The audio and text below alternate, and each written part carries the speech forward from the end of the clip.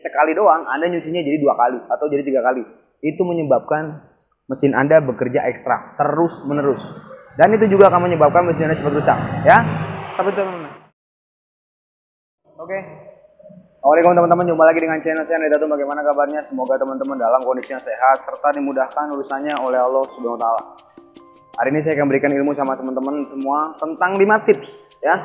5 tips menjaga agar mesin cuci Anda biar awet. Ini Bang. 5 tips menjaga agar mesin cuci Anda awet. Ini untuk kategori satu tabung Bang ya kategori satu tabung. Bagaimana caranya? Silahkan teman-teman perhatikan. Tunggu, tunggu, tunggu. Jangan lupa like dan subscribe ya teman-teman untuk mendapatkan informasi gratis berikutnya. Informasi buat teman-teman yang ingin tahu bengkel Andre Tatum di mana? Coba.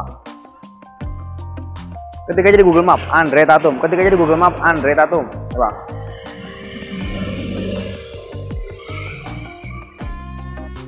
Yang pertama, apa yang harus Anda lakukan kalau ingin mesin cuci Anda awet?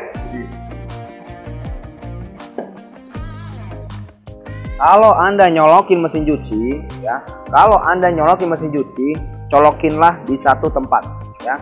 Maksudnya apa? Ini colokan ini jangan digabung sama Magicom, jangan digabung sama komputer, jangan digabung sama TV, jangan digabung sama setrikaan dan lain-lain. Cukup satu, ya. Jadi satu colokan untuk satu mesin cuci. Oke, itu adalah poin pertama ya, menjaga agar mesin cuci Anda tidak awet. Poin kedua, poin kedua, apa yang harus dilakukan kalau ingin mesin cuci Anda awet nih?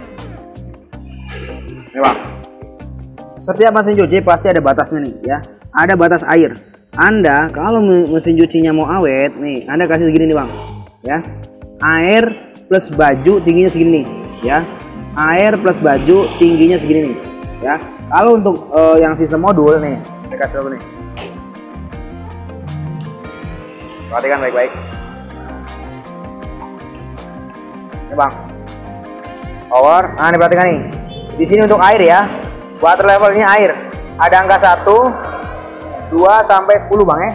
Ano 10 oh. 1, 2, 3, 4, 5, 6, 7, 8, 9, 10 Di mana saya naruhnya Mas Andre? Anda taruhnya di 5 Pertengahan antara 1 sampai 10 adalah 5 ya. 5 setengah kagak ada sini ya. Kalau nggak 5, 6 Oke? Jangan lebih tinggi dari 6 ya. 5, 4, 3, 2, 1 itu yang terbaik. Oke? Karena apa? Kalau Anda melakukan itu nanti akan menjaga keawetan ya. Menjaga keawetan dari sisi mesin dan dari sini bang. Dari sisi water level water apa bang? Water inlet. Kemudian dari sisi water level. Di sini ada water level namanya. Oke? Okay? itu poin kedua ya. Poin ketiga bagaimana caranya Mas Andre untuk menjaga mesin cuci Anda biar awet nih? Banyak sekali kejadian teman-teman di sini yang punya mesin cuci setiap tahun. Bahkan ada yang nyampe belum nyampe setahun ya. Ada kasus di mana belum nyampe setahun ininya bang. Nih. Modul ini bang modul ini atau pencetan ini udah rusak ya. Modul ini ini namanya modul ya atau pencetan ini papan tobel ini udah pada rusak. Karena apa? Nih.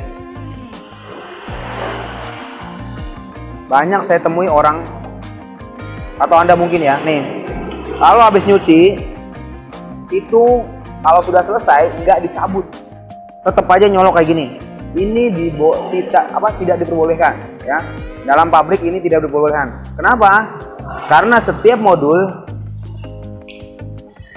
setiap modul itu ada lifetime-nya ya.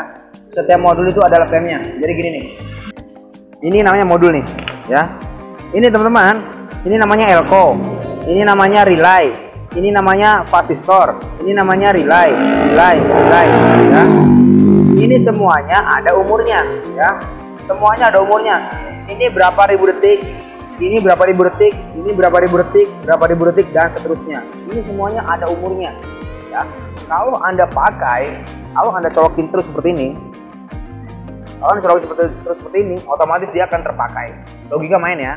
Otomatis dia akan terpakai. Dan ini akan mengurangi lifetime-nya dia. Padahal nggak dicolokin padahal nggak di apa bang nggak di play tapi di sini ada power yang standby ya ada power yang standby. Nah, itu alat itu yang sering sekali bermasalah ya. Jadi kalau Anda mesin cucinya mau awet, jangan sekali-kali kalau habis nyuci, nih Bang. Kalau habis nyuci nggak dicabut ya. Kalau habis nyuci cabut. Kalau habis nyuci dicabut, satu hemat ini nih biar modul Anda nggak cepat rusak. Yang kedua hemat listrik ya. Jadi Anda pemakai yang nggak boros. Walaupun 0,0 sekian persen, tapi Anda kalau bisa hemat kenapa tidak? Oke, itu poin ketiga bang ya. Poin ketiga. Sekarang poin keempat. Bagaimana caranya agar mesin cuci Anda awet nih? Kalau Anda ingin mesin cuci Anda awet nih, Anda Anda cukup lakukan seperti ini nih. Ada pencet tombol power, ya, power, kemudian airnya ke sedang. Nah nih, mana dia bang? Nih, airnya ke sedang. Saya colokin aja dah. Power, kemudian airnya ke sedang. Nah, nah ini. Nah, nih ke sedang ya. Airnya ke sedang, kemudian start.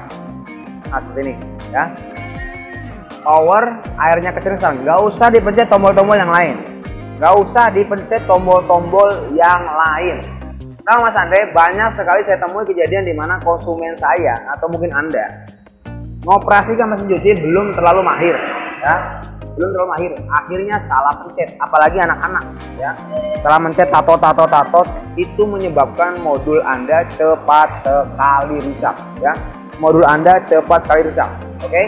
itu poin keempat bang ya. Itu untuk poin keempat. Jadi jangan lakukan itu. Kalau anda mau amet, ini bang, power. Kemudian airnya dikasih yang sedang.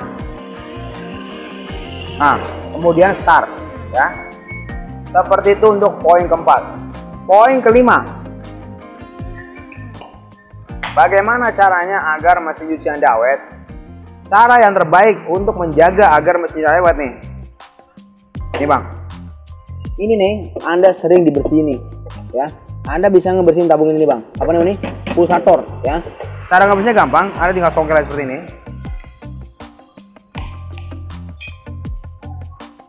Ya bang. Nah nih songkel seperti ini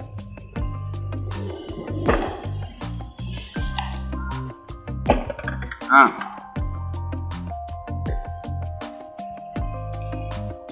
tinggal dibuka ininya bang nah Oke. Nah. Buka kiri ya. Oke. Nah. Anda bersihkan ini pulsator atau baling mesin ini per satu bulan.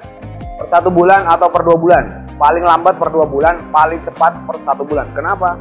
untuk menjaga kebersihan apa nih bang pulsator kalau pulsator anda kotor otomatis baju anda kotor oke okay? baju anda kotor anda nyucinya yang harusnya nyucinya sekali doang anda nyucinya jadi dua kali atau jadi tiga kali itu menyebabkan mesin anda bekerja ekstra terus menerus dan itu juga akan menyebabkan mesin anda cepat rusak ya sampai teman-teman